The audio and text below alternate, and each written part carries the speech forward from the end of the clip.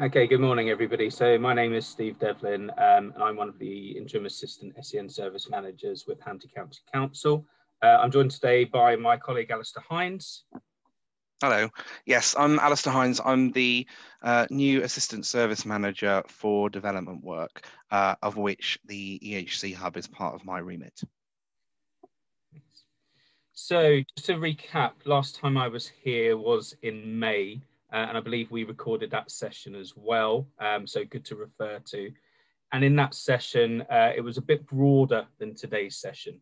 So in the last session, we talked about uh, annual reviews in, in the broad sense in terms of the process. I clarified the process for annual reviews and the timescales around annual reviews. And then I talked through the, the wider plans that uh, the SEN service has for managing reviews going forward. And you know, when, I'm not going to cover uh, a lot of that because we covered that in May uh, and the video's there to refer to. What, what I got from the feedback uh, from that session um, at the time uh, and then picking up with, with Joe afterwards really was that the hub is the big thing people want to know about. So that's why Alistair is, is joining me this morning. He's, um, he's the man with the hub that will, will take you through from a parent's perspective how it all works and we'll be able to answer questions on, on reviews in the hub.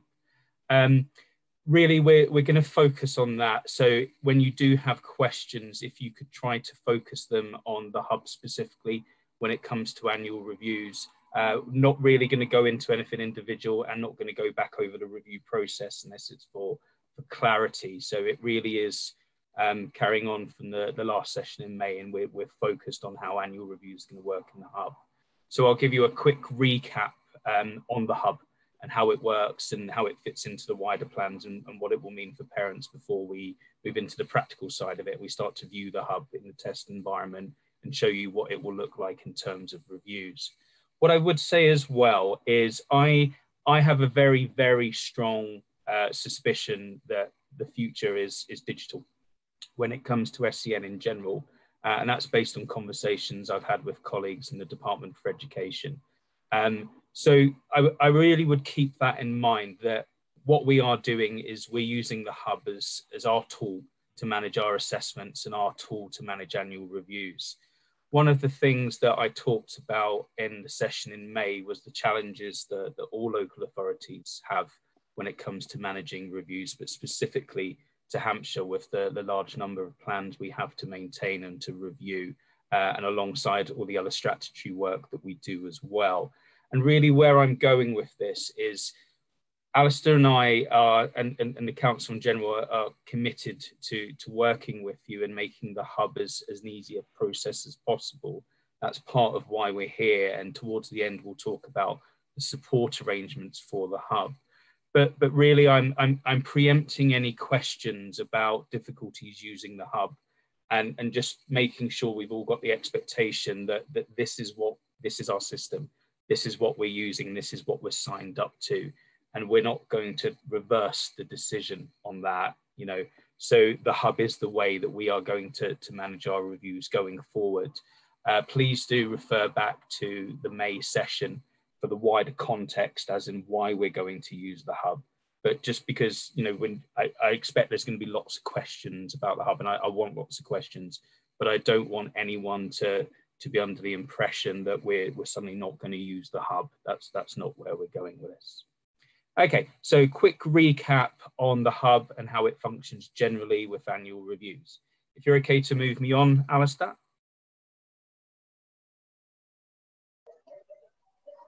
So quick, quick recap. So at the last session. Am I, is other people hearing other voices? I'm not sure where they're coming from. If, if we could all mute, that would be really helpful. I can't see who it is, Steve, because I can't mute them. Thanks. If, if everybody else who's who's on the call, if they could just make sure they're muted, that's that's going to be incredibly helpful for us. Thank you, and for the recording as well. Okay, we'll, we'll press ahead. So, so quick recap then on the. Steve, are you hearing other voices? Is there, are other people hearing other voices, or is it only me who's getting cross wires? Okay, it's me. Don't worry. I can hear some some very faint background music, and I can hear some traffic going past my window. Okay, so so quick recap then. So the hub in wider terms when it comes to, to EHCPs and, and annual reviews. So so the hub is designed to work the way the annual review process currently works.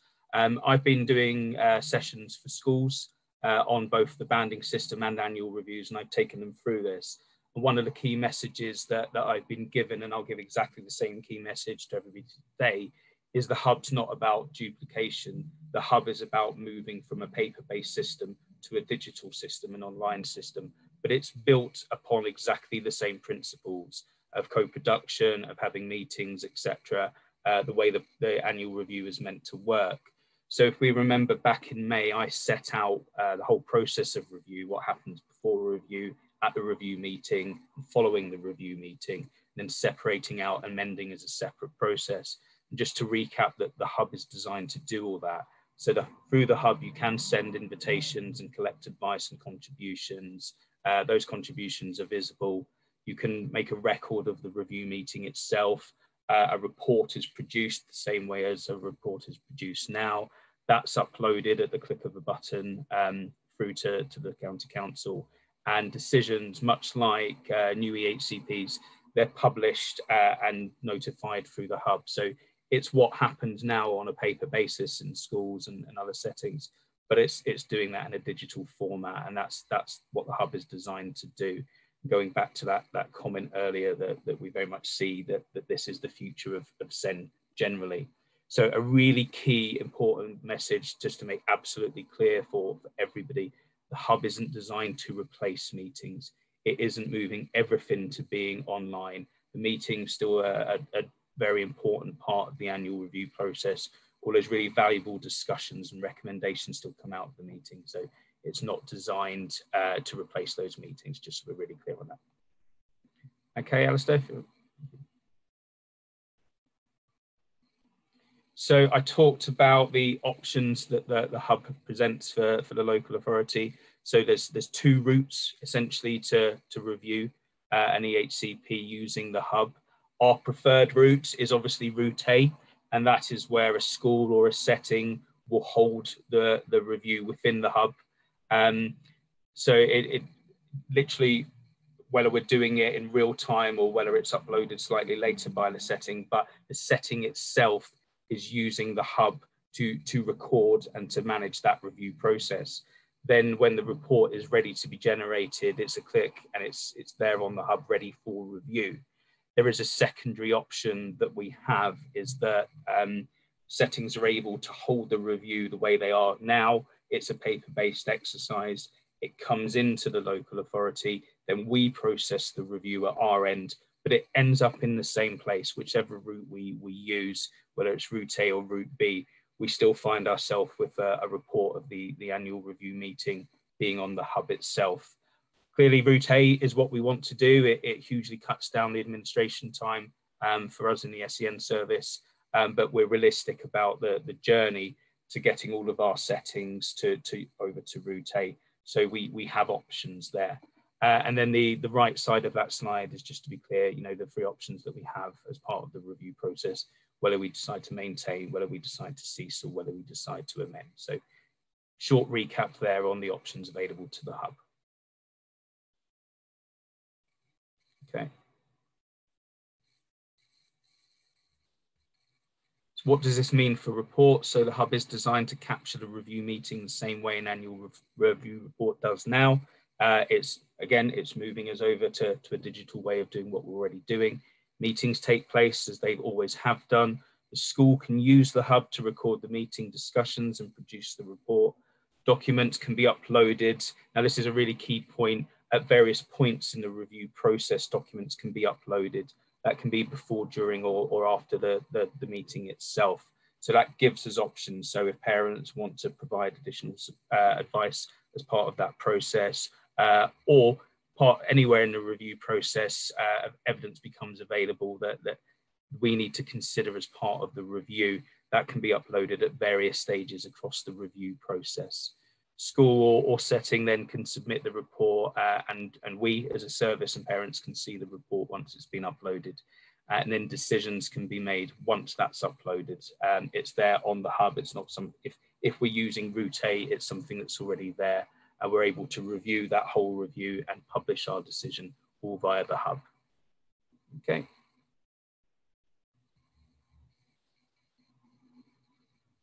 When are we moving to the system? So if you recall back, anyone that was here in May, we talked about something called the legacy program. So uh, in order for us to use the hub to be able to process annual reviews, we need to have EHCPs uh, and associated information and reports available on the hub in order for us to do that. So that's part of what we call our legacy program, which is a, a, a two-part piece of work.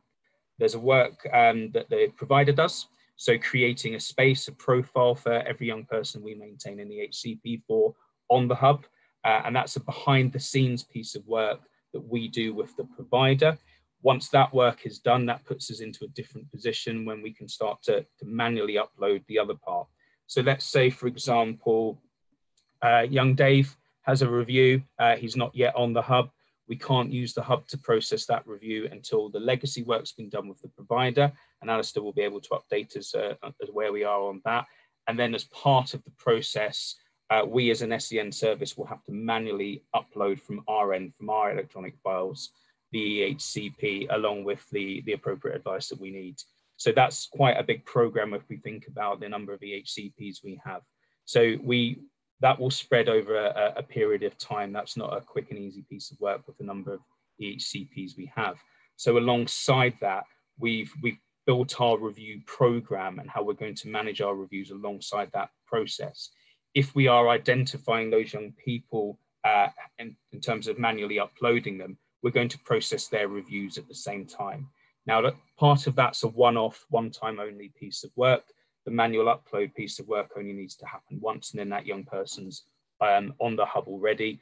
But it means that going forward, we're always able to use the EHC hub um, to process that annual review. So it's, it's a program that runs over a period of time. Annual reviews as a program are continuously run all year round, but we are tying it to our legacy program. Uh, reviews will have the upload and decision processed at the same time. Um, and we, we're on version 7 point, what now, Alistair, of the hub? Four, I think. 7.4.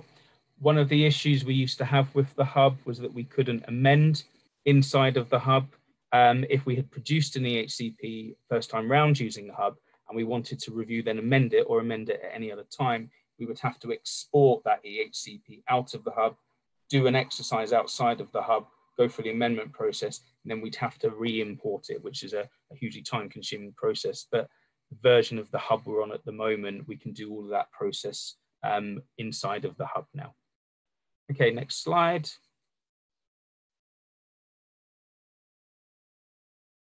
So both ways of processing the reviews will run in parallel while we transition.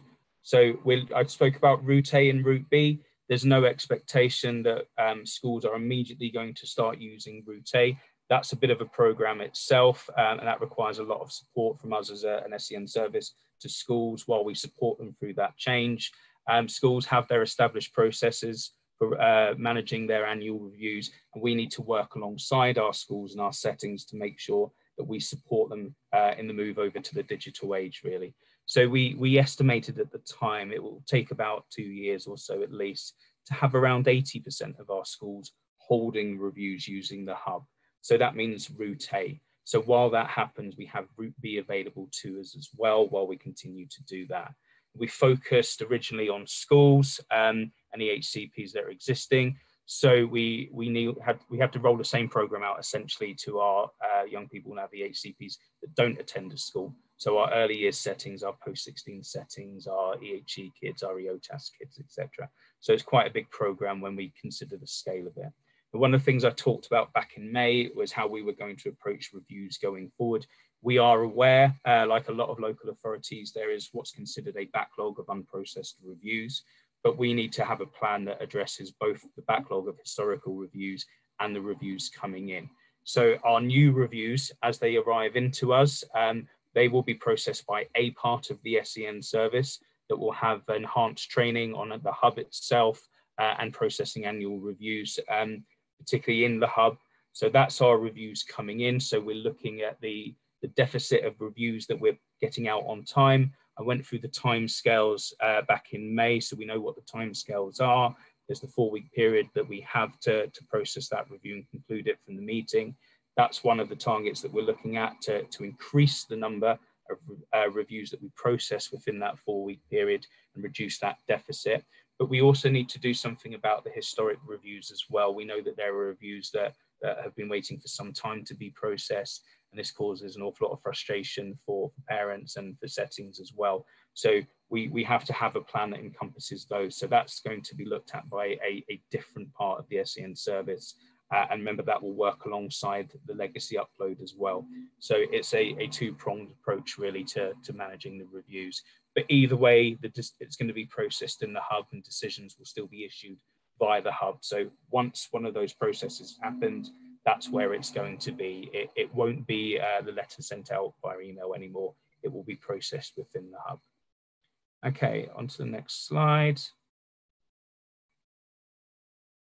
So that, that brings me to Alistair really. So we, we know that um, like when we first started using the hub for assessments, there needed to be uh, support available for, for schools and for parents as we make this move over to, to using the hub more and more. Uh, and I, I, think we, we really learned a lot through that process um, in terms of how we rolled that out. And we've listened to, to both parents and to schools about that process. That's part of why Alistair and I are, are keen to take your questions and listen to, to what support available, um, what options you need, what is going to make this process as, as easy as possible. Um, so I'll, I'll hand over to Alistair. Yes, so uh, thanks, Steve. Um, yeah, we've got lots of bits and pieces coming online in terms of uh, support, uh, training for settings, practitioners, etc. Um, how to sessions, how to videos, um, because from my own experience working with colleagues, um, having a video that walks through step by step rather than uh, sort of sharing someone's screen saying now just click the button on the right no the other right no down a bit up a bit no further left with increasing sense of, sort of passive aggressive frustration uh, isn't helpful um, so having a video that you can look at side by side as to what you need to do and where you need to go um, is much more helpful and we've found people seem to find that easier to follow along um, it also means that because of the systems that we use in Hampshire for creating those sort of videos that they're automatically accessible because uh, it automatically adds transcriptions um, and closed captioning, etc., um, which some platforms don't. So it allows us to make sure that those are more accessible. Um, and equally, we've got processes in place to be able to provide support to people where accessing technology uh, is more difficult or where people don't have access to technology um, by making sure that we're um, making available sort of support and information that people can access offline as well as online as well. Um, and as it says at the bottom, uh, sessions that we do throughout the year uh, for schools and other education settings, and we're factoring in uh, refresher sessions for people as well, alongside recording those sessions. Just as a recording today's session, we record sessions that we do for education settings to show them how they need to do their part in these various processes too, so that they can go back and refer to them as well. Uh, so I think at this point, um, yes, questions. Is there any questions on what Steve has gone through already before I jump into showing you what an annual review looks like on the EHC Hub for from your perspective as parents, carers? Yeah, couple. Um, First one for you, Alistair, which is perfect, yes. which is because it really is for you. Um, what is an assistant service manager? Uh, an assistant service manager is an assistant to the service manager. not, I don't know how to. So it's basically. What do you do, our, Alistair? What do you do? Yes. So I mean, I can briefly go through that. So we have um, what's called a county education manager, who's currently Tracy Sanders, who looks after the SEN service and a barrage of other services too, like educational psychology, virtual school, etc., etc.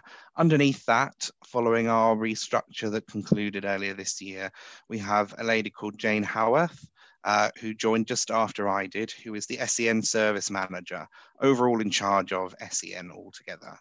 Underneath Jane, there are uh, three permanent assistant service managers uh, and Steve as our interim service manager. Uh, so the three permanent service managers are myself, who looks after development. So basically, just I'm oversimplifying this horrendously, by the way, um, is I deal with um, sort of strategic development, um, sort of forward planning, uh, things like the EHC hub, um, diff various different strategies that we're developing. Uh, my colleague Claire Campling, who's been uh, within the service for a while, is the Assistant Service Manager for Operations. So she looks after the teams that are essentially the frontline services. Um, so looking after the teams that are doing the assessments and the annual reviews, looking after the districts and the individual children in there. Uh, and then our other colleague, Michelle Holland Lucas, who looks after uh, areas of disagreement and uh, sort of conflict resolution, so mediations, complaints, tribunals, um, and also uh, sort of quality monitoring. So sort of doing dives into the service to check how the various elements of the process are working in terms of um, looking at how the EHC plans are coming, working with colleagues in other services and uh, some of your own colleagues as well within HPCN to monitor sort of quality of output in terms of the EHC plans and the advice that's coming through. Uh, hopefully that answers the question.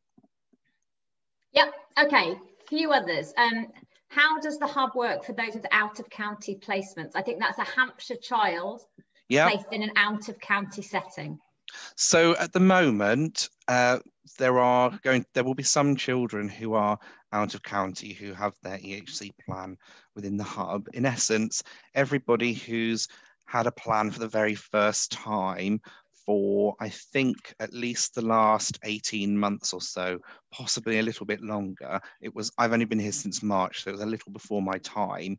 Um, has their EHC plan within the EHC hub. Um, so while we've been focusing our training and development work on annual reviews for schools within Hampshire primarily, we will then also be rolling out sessions to our colleagues in out of county settings so that they're able to conduct their annual reviews through the EHC Hub too. But for the time being, they will more than likely be using Route B, particularly because depending on where those settings are, um, if it's a local authority out of county placement, they've probably got their own ingrained way of holding an annual review um, using the paperwork that they have from their own local authority. And whether the whatever the paperwork looks like, an annual review is an annual review. So it covers the same things, even if it's on a different form.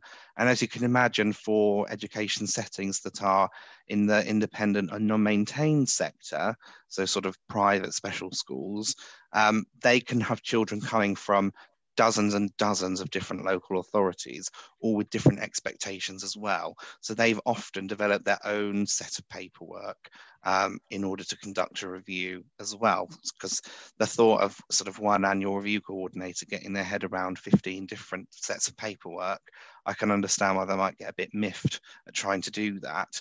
Um, but we're working with all of our out of county placements uh, over the coming year um, to make sure that we got as many of them as possible onto the EHC hub for their reviews.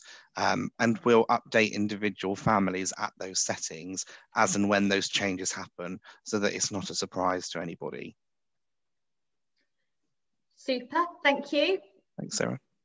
How will parents be notified when documents are uploaded, amendments made, or decisions issued via the hub? So it's automatically done via email. Um, the email is um, is sent out by the system automatically at different decision points. So I'll talk that through specifically for annual reviews as we go, so that people are aware when there are uh, decisions made. Um, you'll be informed when people upload their advice and submit their advice form. Uh, there are certain parts of the process where people can upload information in preparation for a step in the process, which people aren't automatically notified of, but you'll then see that that information is there when you're notified that the process is moving forward. For example, um, once you've arranged the meeting, you can upload information prior to the meeting actually happening people would ne wouldn't necessarily be notified that that's been put onto there, but they would be notified that it was there at the point that the meeting was happening. Okay. Will the EHCP be continually overwritten or will there be previous versions stored on the hub? Absolutely. Uh, it's all about auditing within the system. Um, so yes, you can absolutely go back and see previous versions. Um, you can even see previous versions of drafts. So where we've, for example, when you're going through the assessment process, and it's equally applicable if you're going through the amendment process, which is one of the processes that happens after the annual review is finished. Um, if you're going through an amendment or a draft process, you'll be able to see draft version one or amended plan version one, draft or amended plan version two if there are different versions. But equally, if you're going from uh, a, a plan for the very first time, it gets amended and issued as a final plan, you can see that very first plan that you got a few years before in there as well. It doesn't sort of uh, take it away.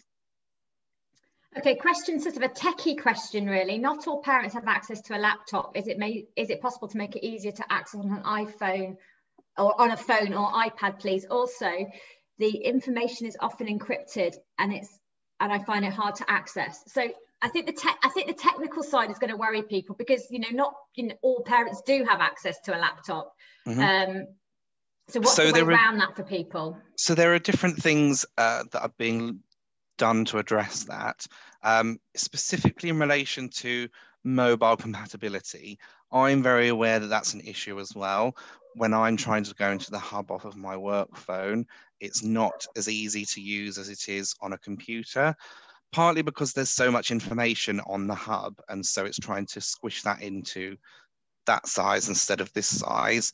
Um, but it's something that we're proactively working on with the, the company that creates the EHC hub and alongside some colleagues from other local authorities that use it too, to make sure that that usability, and accessibility on other devices is as good as it can be.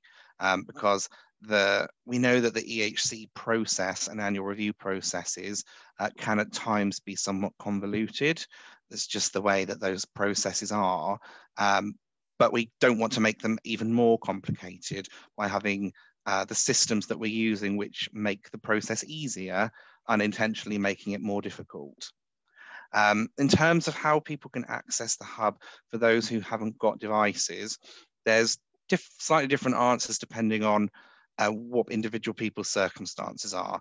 So we've got um, access, we've got access to uh, ICT equipment through lots of our public places. So all of our county council buildings um, have ICT systems that people can go in and touch down and use, alongside things like our libraries that also have access to the compute to the internet and people to be able to use systems if they feel that's what they want to do. Equally, if people don't have access to technology and it's brought to the attention of their caseworker, what we've got the ability to do is just as we would do for uh, someone who doesn't have access to email, where at the moment we're perhaps sharing EHC plans and stuff via email, we make that electronic process a hard copy based process. So as information's coming through for the review, we're, we're, talking where we're looking specifically at the annual review process here. Um, if your school knows that you haven't got access to technology, when that information is created on the hub by the school, they can then print off, print that off and send it out to you in the post. Um, just as they would if someone hasn't got access to email, um, they would print it off and send it to you in the post or give it to you in your child's book bag at the end of the day. Um, then they can do the same with the hub. Everything that's put into the hub can be exported and either emailed or downloaded to be printed off.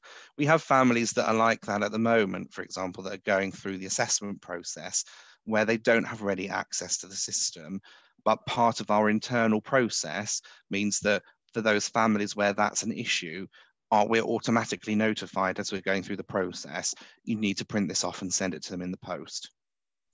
That, that kind of runs into my next question. Um, the, the, the, question starts, Steve said no letters will be sent out, so uh, which I, I, I suspect was the general. Will this be the case for parents who've requested to be information for information to be sent by post? Will it be down to the caseworker to ensure that the parent has been sent the decision letter? Yes, so it's not. There's no automatic. There's no as much as I would like there to be. There's no automatic system that says, "Oh, this person wants it in the post," um, and sort of prints it out and pops it in an envelope for us. I say that because there are systems not not related specifically to SEN, but there are post systems available that can allow you to do that. It's a bit like me choosing if I want my bank statement by post or not, presumably. Well, indeed, and then it automatically prints it off, and they have a magical machine that folds it over and pops it in an envelope, of which I'm very jealous when I'm sending out letters to thousands of people all in one go and have lots of envelopes and my. Are you telling me the Hampshire County Council doesn't have a post room?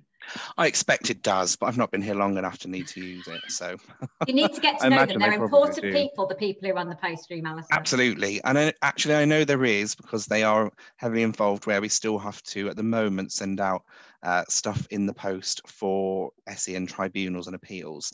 So uh, there is a post. So if, a, if a letter is somewhere. needing to come out to a parent, where does it come from then?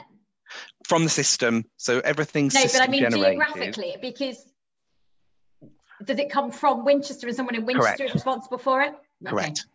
Yes, it comes from the service there. There's always people from the SEN service in the office every day. Uh, and we've got systems in place that you sort of ensure that if you've got something that needs to go out in the post, that you notify an allocated person to make sure that it goes out. And then they let us know just to let you know, I've popped that letter so in. the, the caseworker isn't in Winchester. They need to get somebody in Winchester. Not at the moment, because as you can imagine, lots we're all still working remotely from home. Yeah. Under the current guidance. So yes. Um, any more questions before I move on to the next bit? Uh, two others. Will parents be able to print copies of correspondence and documents direct from the hub themselves if they want to? Yes, so you'll be able to download it first, and then you can do what you wish with it in terms of yeah. email it, print much like much like anything else. Um, yeah. And does the hub raise alerts with either the caseworker or parents' carers when timeframes are up but haven't been met? Yes, they do. So it, it notifies caseworkers as well as, as parents when things. Uh, yes, that's my understanding. Yeah. Okay, that's it. That, that's my first batch done. Awesome. Okay, so I will move on then to the EHC hub itself. Um, what I'm going to be doing um, is flitting between three different people, and I will try and remind you what person I'm being as I'm in the hub. So we've got the coordinator, uh, the SENCO of the school, and the parent carer of the young person themselves as well. Um, so what I'm going to do first is go in as the SENCO, who will see that there's a child on the system. It won't show at the moment on the date that an annual review is due because their EHC plan was finalised this morning. Um, so it's the most early of early annual reviews you will ever see. Um, but we, for the sake of the demonstration, um, I'll show you what the SENCO will do to initiate the annual review process.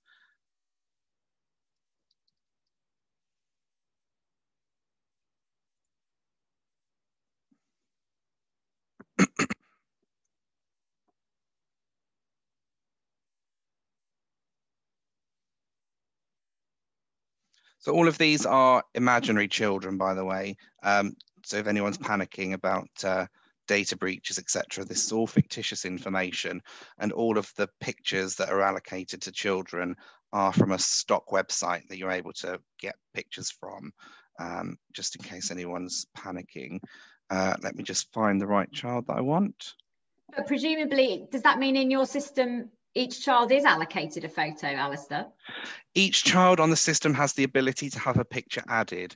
Um, some some schools, often parents do it. So the local authority doesn't come looking for a picture. We don't ask people to send them in, but the system allows uh, the education setting and the parent carer or the young person themselves to upload a picture if they wish to.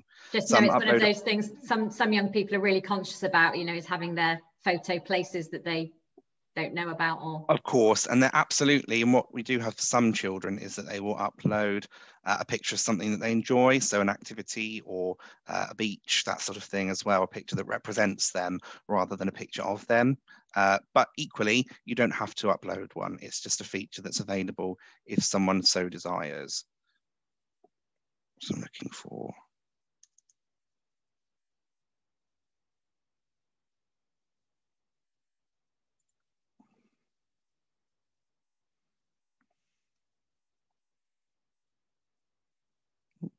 space. Live test here, Alistair. Here we go, just making sure it's all got the right bits and pieces on it. Yes, so this is what I'm seeing as the SENCO. So I can see that there's a current EHC plan. I can download a PDF of it, or if I want to go back in and look at the assessment process, uh, of which it was completed this morning, I can see that too. Um, and this page, as you can see it here, the only difference being that you wouldn't see this button, but this page that you can see here is exactly what a parent would see if they were to log on to the system too. Um, obviously, it's the setting that or the local authority that can initiate the review process on the system, uh, so that button isn't there. Um, what you're seeing here is it's saying that the current EHC plan must be reviewed by the 9th of July next year. This is the date by when the local authority must publish their decision on the outcome of the review. And helpfully, to meet this deadline, it's recommended that the next review be started no later than the 19th of March. What that means is that it's recommending that the school or the local authority, if someone's not in a school, press this start review button by the 19th of March so that they can start arranging the meeting, requesting information, hold the meeting, write the report and send it into the local authority so that the local authority can look at it and say, as per Steve's presentation, we're maintaining, amending or ceasing the plan by the 9th of July next year. Uh, so we're going to start the review. This is what the, the SENCO or someone within the setting would be doing. It's saying, are you sure you want to start the review? Uh, you and when there are things that you can't go back from in the system as a SENCO or anybody else, it will make it will double check and ask, are you sure? Because once I press yes, I can't unstart the annual review uh, without involving a lot of complicated processes. So what the SENCO will be doing at this point um, is arranging the meeting. So they'll be putting in when the review is going to happen. Uh, and the time, the end time, the location. What you can see here um, is that it's automatically going to send an invitation to the parent. It's automatically going to send an invitation to Will Hargraves, who's the SENCO of the school. Um, and you can also here uh, add the SEND coordinator from the local authority into it too.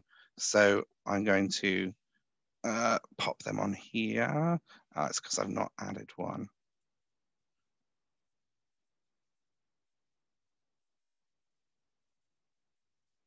I'll do that afterwards.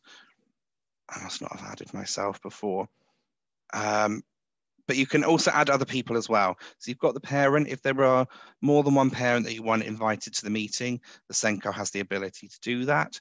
And if there are other practitioners involved in uh, the child education, health or care, you can add them in this way too. So that could be other people within the school, that could be other practitioners, uh, social workers, people within health or education, etc. as well. Um, and all the school has to do um, is say that they want to add another professional. It will ask, it will look on the system to see if we've already got them on there. And if it does, uh, it will just say tick this box and we'll send them an invitation. Um, and if they're not, it will allow them to add them on as well. Um, all they'll need is that, that person's email address and it will send them a request uh, to register on the hub because they've been invited to an annual review. Uh, for the sake of brevity, I'm not going to make up anyone else to add to it. Uh, so we've got the parent who will be invited and the SENCO. So I'm going to set in the date and time of the meeting. Uh, and just for simplicity, uh, I'll put that on here. Don't want to do it at six o'clock in the morning.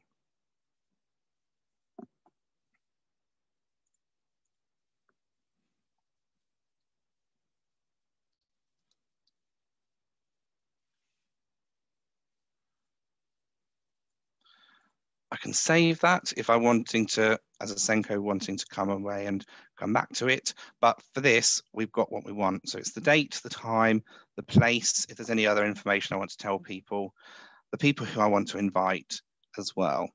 So I'm going to send the invitation. Um, what that will do uh, is send an invitation via email to those people to say, you've been invited to an annual review. Um, and can you please log into the EHC hub um, so that you can provide information. So I'm going to send a request now uh, to the SENCO, albeit that I'm the SENCO here, um, for information in the hub. So that's why it's given me that little green arrow here uh, so that I can go in and add information. But what rather than show you how that works for the SENCO, what I'll do is go in and show you what adding information for the review looks like for a parent, because that's more relevant here. Uh, so I'm just going to log myself out briefly as the SENCO and log myself back in as the parent.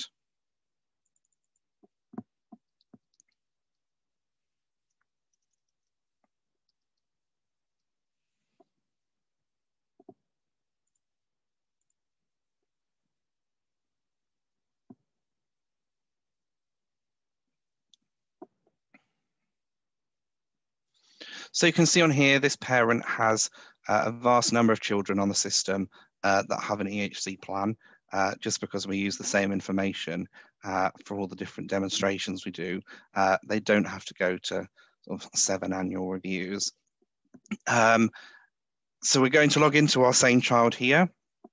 You can see down here in the green tabs that it's telling you whereabouts in a different process uh, your this particular child is. So it's saying a review is in progress and a meeting has been arranged, which is where we were and what the SENCO had done. They'd arranged the meeting.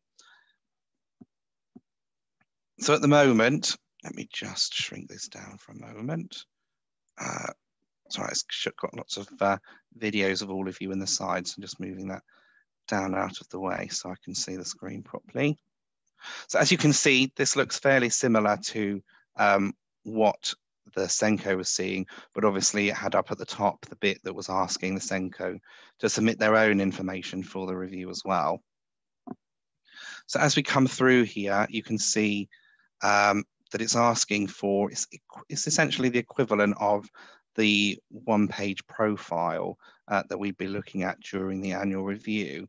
So this is asking for people to uh, submit their comments uh, prior to the meeting itself happening uh, where of course you'd be looking at the specifics of the individual bits of the plan uh, and coming to a consensus on people's feedback uh, on the progress.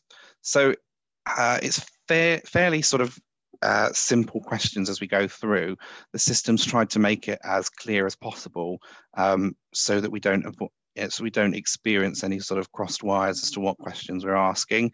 So it's asking, do you feel that you, or the child, as in the child's views here, which is what this is. So this particular bit here, this first half, you've got test is obviously the child's name in this instance, um, the parent and carer's views, and also the child's views as well. Um, the child's views can also be completed by the education setting. Um, we know that there are uh, lots of education settings. Who work with families to complete this this section during school time um, and so they're perfectly able to do that just as you are as families too. Um, so you can do whatever works best for you and your family. Can i butt um, in with a question alistair? of course you can.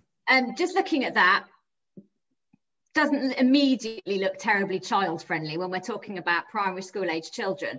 So if you were to give it to a child and they were to fill it in handwriting or draw little pictures or whatever, is there a place to upload that, which is, you know, genuinely their views as opposed to their views as interpreted by an adult? Absolutely. Uh, I'll show you that just as we get down to this bit here. Um, but yes, a very pertinent question. Um, so you've got the bits here, sort of, you know, do you feel making progress towards some or all the outcomes set out in your plan? An important question, but as you say, uh, it's a question that some people will be able to better understand and answer than others, um, depending on their uh, their age, capacity, and what their special educational needs are. Obviously, um, if it's yes or if it's no, it's just a question. It doesn't change anything underneath. Um, so for the purposes of this, we'll say, yes, I'm making some progress.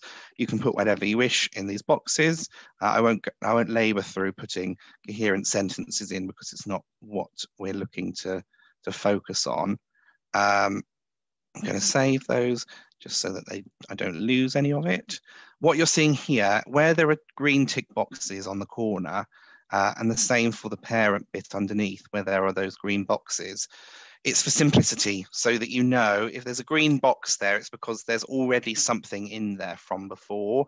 So because this is this child's first annual review, it means that the ones where there are green boxes are where someone added to the very first EHC plan information. So if I click on the one that's about things that are important to me, you can see there's information. But if I click on things that are working well for me at home and school, there wasn't a green box because the box is empty. So we'll go into one of these and you can see here what you've currently got here is the wording that was in the plan when it was first written. Um, and this was all generically created by the system for the use of demonstrations. That's why it's in Latin.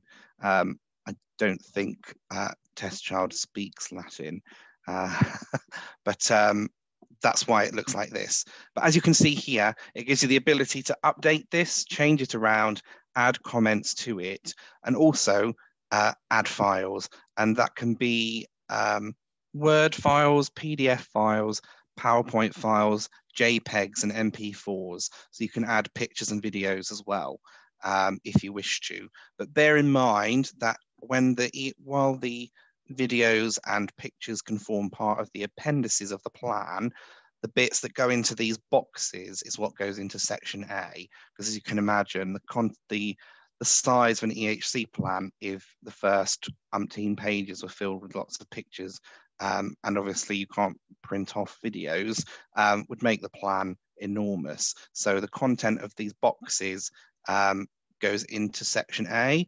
And if there's, as you said before, where you're where you may have a child uploading a a sort of written version or a drawn version of their views, what we would then do as a local authority, as we would have done during the assessment process, is transpose that information into these boxes for you.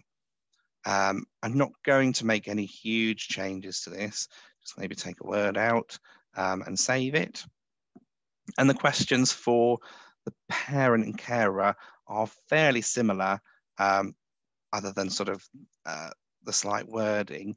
Um, so it's asking here, do we feel that they're making progress towards some or all of the outcomes? Again, it's a yes or no question.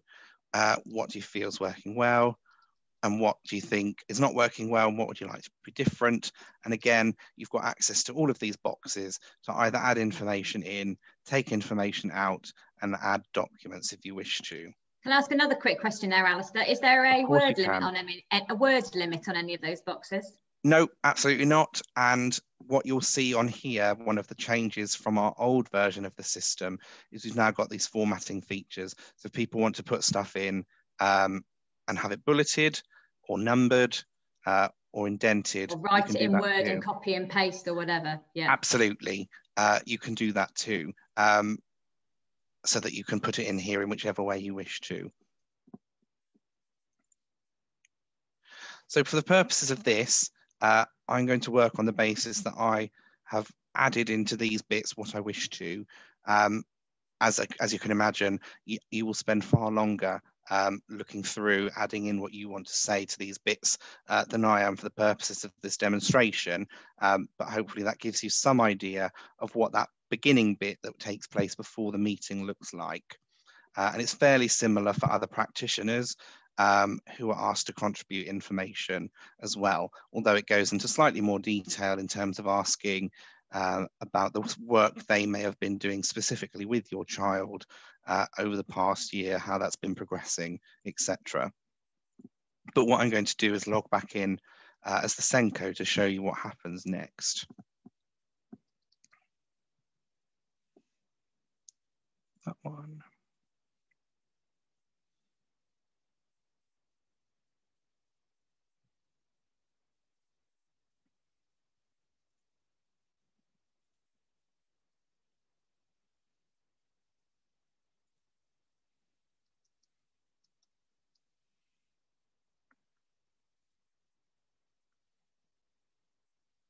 So as you saw before, Will Hargraves, the SENCO, his bit here is asking for him to contribute views to the uh, assessment. Uh, he's being asked to go in and comment on progress uh, towards the bits of the plan that he's been working on. Also has the ability to add information as well. Uh, I'm just going to fill in one of the boxes on here briefly so that I can uh, add information. And this all comes together for being discussed in the annual review meeting where all of these views are compiled together. Um, so it's asking for progress towards that particular outcome, uh, which we'll just say is on track, no changes, no additional bits, and no changes required to that, just so that I can then save that and move us along to the next bit. Saved, good. And they can download it, work on bits of it and come back to it just as you can as parents, and then submit it back to us. So I'm going to submit that back through again, which then allows the SENCO to move the meeting forward um, to make the, the meeting happen. And as you can see, those bits that we added before have been added in here so that the SENCO can see those too. So I'm going to progress it forward to the meeting, and this would happen uh, potentially at the meeting. It doesn't need to be completed in the hub in the meeting because we're very aware um, that some people can find it quite off-putting um, if you're having a chat during an annual review and someone sat there tap tap tapping away um, and it can also on occasion stifle conversation um, if you've got the SENCO or someone within the setting uh, trying to diarise down uh, on a system uh, everything that everyone's saying all in one go um, as opposed to uh, taking notes and then completing the report afterwards, which is what tends to happen more than the report being completed there and then during the discussion. So this bit might be completed in the meeting itself or afterwards, but it's not terribly convoluted. It's purely for the SENCO to be able to say, these are the people that were invited and who came. Um, so we'll say that they came and the SENCO came. You've, if someone came to the meeting uh, that wasn't invited initially, you can add them in here as well. So there's a record of who came. So if you've got any uh, people from SENDIASS, for example, if you've got any uh, other advocates or professionals who people weren't expecting to be at the meeting uh, but have been able to attend, the SENCO can add them in here as well any additional information about the meeting. So they might jot down here that a report was sent in via email at the last minute. So it's not in the hub, but you can diarise down here that it came in and then you can upload it here as well if there's anything specific that they want to do. But as I say, it's perfectly possible that this particular page that the SENCO has to complete might be completed after the meeting because there's nothing here that is contingent on being done for the meeting to actually happen. Uh, and what we've worked on with SENCO's following lots of discussion with them um, is that all the questions that get asked in the meeting report that's completed after the review, uh, we're putting out onto crib sheets so that it can be used to have discussion so that for those SENCOs who don't want to be sat there with their computer during a meeting, make sure that they've covered off all the important parts of the annual review discussion. So all I'm going to do to finish off this demonstration um, is show you the content of that report so that you can see what bits are being covered so that you'll see what comes into the local authority when the report is created. Um, so this bit's moved on to after the meeting has happened. Um, so it's asking people to update, is the school that the child goes to still the same or has it changed? Um, it's asking for feedback on these bits. As you can see, it's been these bits have really been completed already um, by you, the school or the child and young person. It's asking the SENCO to reach a decision um, about what needs to be done. And you can see here um, where all the different people are putting their comments on progress, etc. Um, it's allowing them to see what people have commented on as we go through alongside your own views as well um, so that they can reach a decision about what needs to change, if anything, within a certain bit of the plan. And they'll go through all these bits here. For simplicity, there are three bits that I want to look at that aren't not, that aren't sort of fixed parts of the EHC plan all the time, but do form part of the annual review process. One is that there's a need to focus and have a discussion during the review about preparation for adulthood. So it's asking what's their next phase of transition. So are they transitioning key stage next? Are they moving to a new education setting or moving into further education? What's their next sort of transition they have to do? And if there is a transition to happen, uh, is there a transition plan in place? If we know what someone wants to do at key stage four or further education, this gives people an opportunity to let the local authority know what people's plans are. Obviously, that's not fixed in place, but it's just to give us a bit of a heads up as to what people may be planning. If someone's been given careers guidance, what information were they given during that careers guidance? Um, has preparation for adulthood been considered during the annual review in regard to training, uh, to employment, to careers guidance, independent living, community inclusion, health, social care and transition to adult or other services. For simplicity, I'm not going to fill these boxes in. It's more just to show you what's here and what will form part of the discussion in an annual review.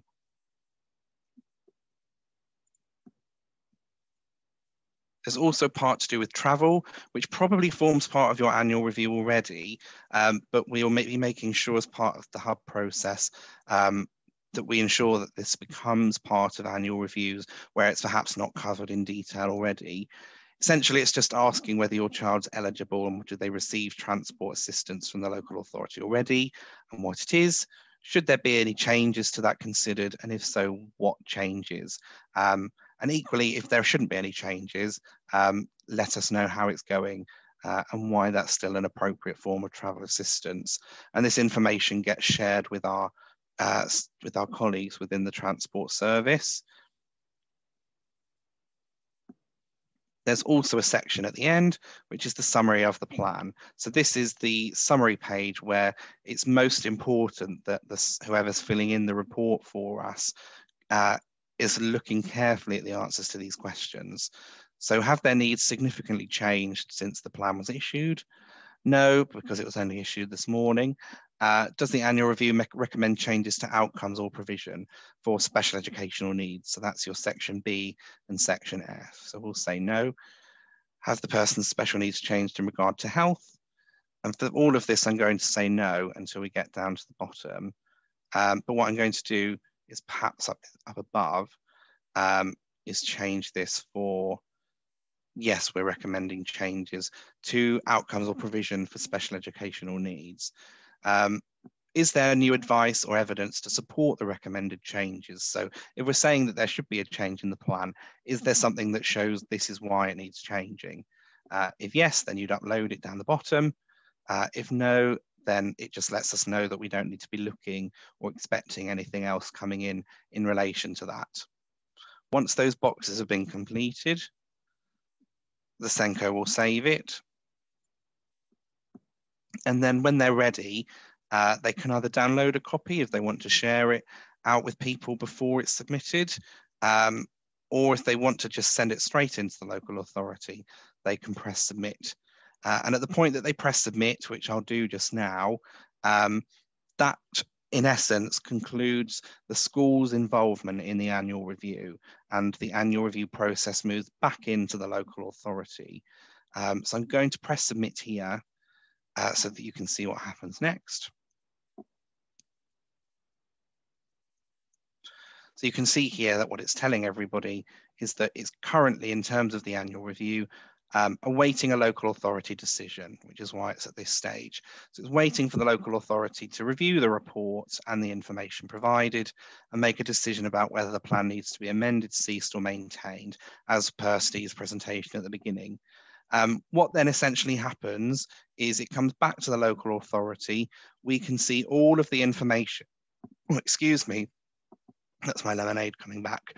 Um, you can see all the information that was submitted as part of the annual review.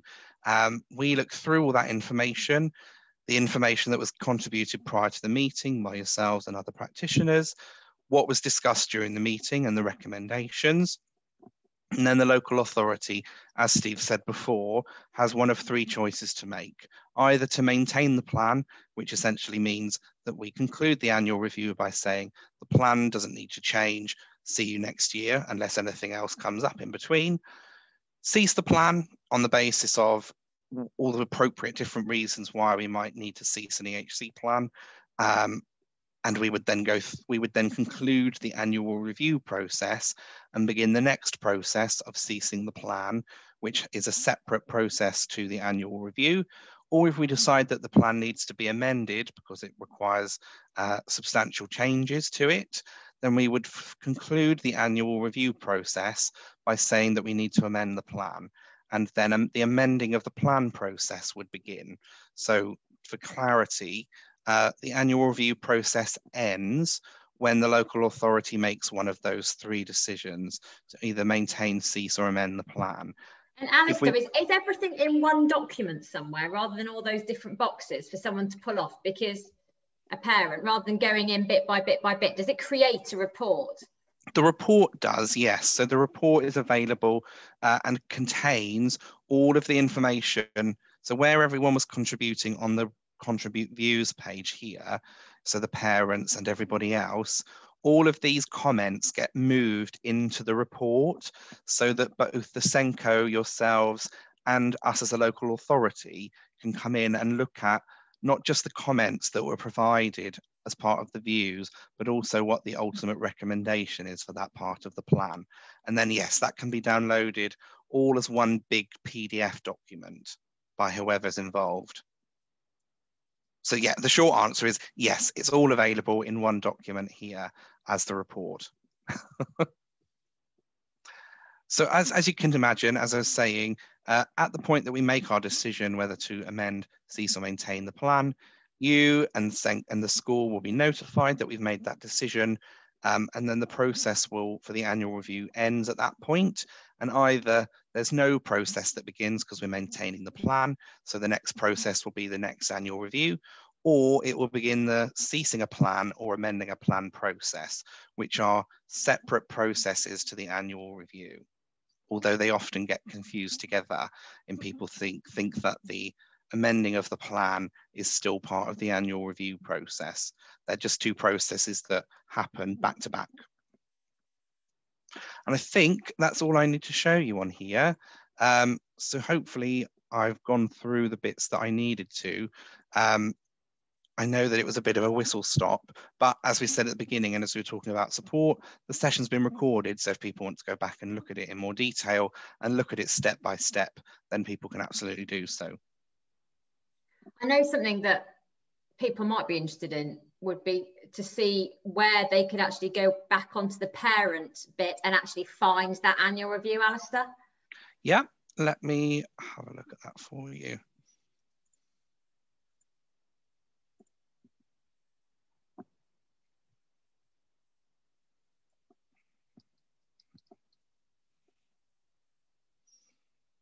That one good live driving.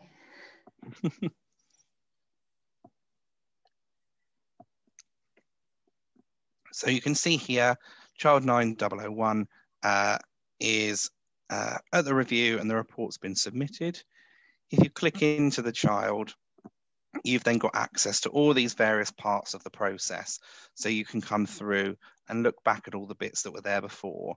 Once the review's been concluded, and we've made our decision, then obviously the decision box comes to life. Because if you click on it at the moment, what it will show you once I've gone to the right bit. And you said that when that decision has been made, the system automatically emails a parent to let them know that that has happened. Correct. So you can see exactly the same as what the SENCO was seeing before, which is saying that actually in terms of a decision, uh, it's awaiting that decision uh, from the local authority.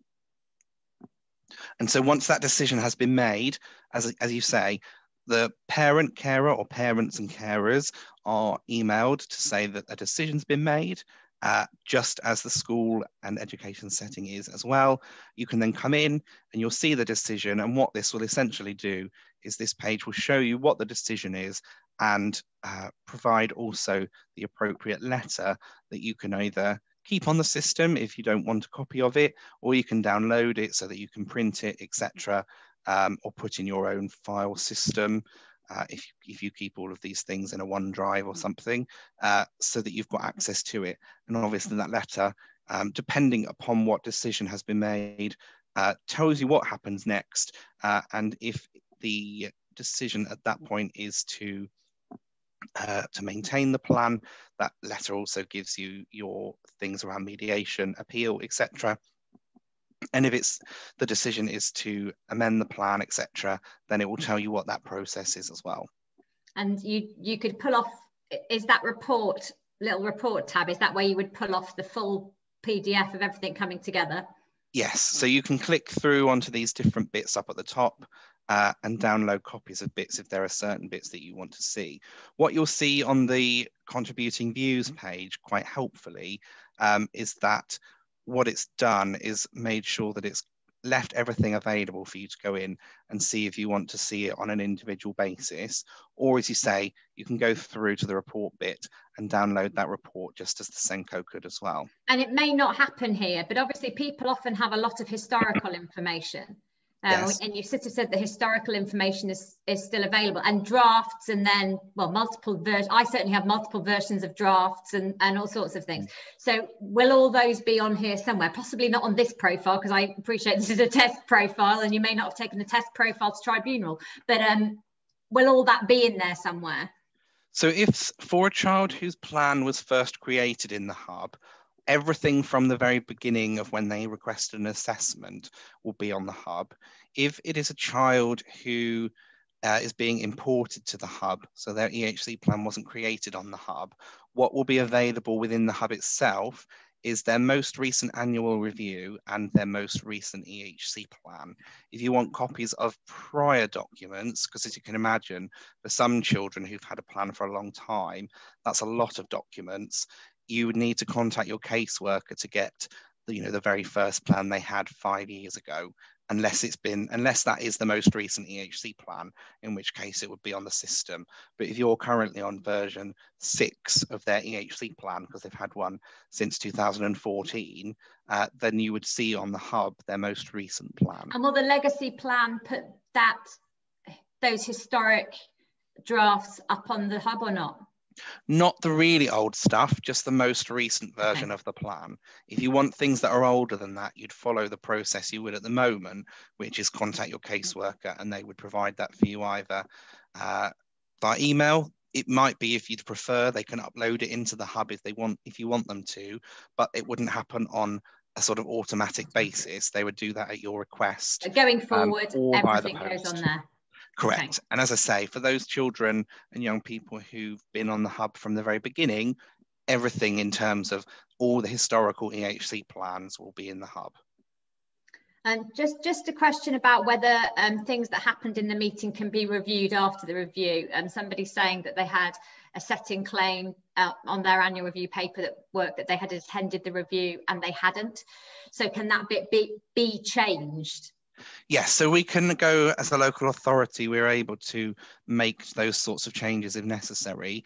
Uh, it's not a simple thing to do because as you can, as I mentioned and showed you right at the beginning, when you get to a sort of unchangeable point in the process, it comes back and says, are you sure? There's even a couple of processes for us as a local authority where it comes up and says, are you sure you're sure? but um, just to make sure that we're not doing uh, we're not making the wrong bit, which then sort of can muck up the system. Um, but yes, if there are certain bits where there are factual errors or uh, or just sort of mistakes that are made, uh, either the school or you as the as the parent carers can come back to us at the local authority, drop us a message to your caseworker and say, I can the schools mistakenly put me as being at the meeting when I wasn't, or that I wasn't when I was, um, or they forgot to say that so and so came to the meeting as well. Would you be able to add that on for us, uh, and we can arrange for that to be done? Is there any messaging within the hub that you can? There's not of... direct messaging within the hub, okay. no.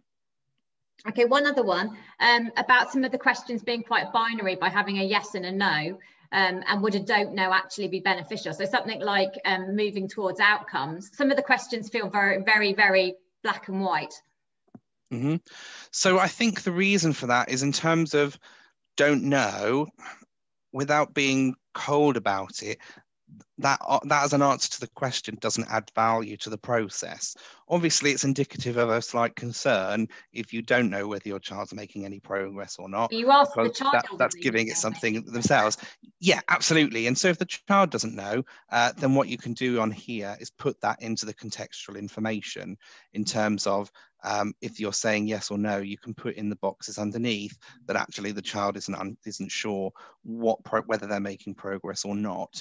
But what you can do is as lots of schools do at the moment, is rather than if they're not necessarily a child's not necessarily able to answer that question definitively, they may reach a judgment basis on the basis of how they've answered these questions, um, so that they're then able to give an interpretation. But as it is when you're doing Section A for the very first time, if someone is answering these questions on someone's behalf, which is different to someone inputting someone's answers, if they're ans- if you're creating the answers on their behalf, then you should be putting that in the document so that it's very clear that it's your words and not the child or young person's. I mean, that's Could where we would look at saying that, couldn't there? Mm-hmm. Yeah, absolutely, and that's something that uh, whenever those sorts of suggestions come forwards, we put those onto our um, ideas platform. So we've got a the, the company that runs the EHC hub, that's obviously not just for Hampshire, but for dozens of local authorities, um, has a website that's specifically for putting on ideas and suggestions as to what would be useful to have on the hub that isn't there already. So things like that, we absolutely take back and we pass forward. And then other local authorities can contribute and go, yeah, and I think that's a really good idea. We'd like that too. So, um, and it works. That's how different bits and pieces get added to the hub as it goes from version to version. So yeah, I've already, uh, I'll make a note of that one uh, and pop that through on our ideas hub because it's a useful one. Okay, I think I've covered all my questions, gentlemen. Okay, well, I'll stop sharing my screen for now anyway, just so I can see uh, everyone's smiling faces again. And uh, and somebody's cushion. But um, jo- Joe's just popped out for a moment. That's you were right. there a second ago. Oh, there we go. Hello. it was a lovely cushion, though, by the way, Joe. A lovely colour. Um, yes, but if there are any more questions for Steve and I in regards to what we've shown this morning, uh, happy to answer those. And before I forget, Sarah, I do need to grab your email address because I have the information that we were looking for in our last session we were doing about, about early years. So I've got that information back uh, earlier this week. Um, and I went, oh, I need to send that to Sarah, but I haven't got Sarah's email address, and then forgot all about it until I saw you this morning. Follow the formula, pre pretty much like everybody else. Are you just sort My of name? Sarah Sutton or Sarah Sutton, or yeah, Sarah drop me a message, please. Thank you. Um, okay. Ah, here we go back to the, the black and white questions. Are these yes or no answers used to measure the performance of the local authority at any point? Because if there is no, don't know option, then having to select yes may give a false representation of performance. No, they're not. They're not used in that way. That those bits are purely used to allow the school or whoever's completed the review report um, to get an idea of whether people, as a general consensus, feel that we're moving forward or not. Um, what you'll have seen on the bit when the report's been completed is as we're looking at the individual outcomes and provision, the question's broken down a bit more. So it's sort of the outcome or the provision is doing its job, is on its way, so it's on track, um, no longer relevant uh, or needs changing. So it's not actually working. Yeah, I, just, I thought it on the transport one as well, whereas it said, is this child eligible or not? And the thing is, eligibility can change. So I think yes, no can be people won't want to say no. Potentially, and I think, but uh, it's unlikely. Well, there's there will probably be quite a small number of children who are eligible for transport, where the answer to the next question is that they're not accessing transport. But there will be some. Um, but yes, if people want to add context to those, there are always other boxes in the system that allow people to add context to them. Okay. Oh, dry mouth that was a lot of talking in one go, Alistair. You did very well. I'm used to it. I talk too much, if anything. So uh, I can't. I can't look at Steve trying not to laugh.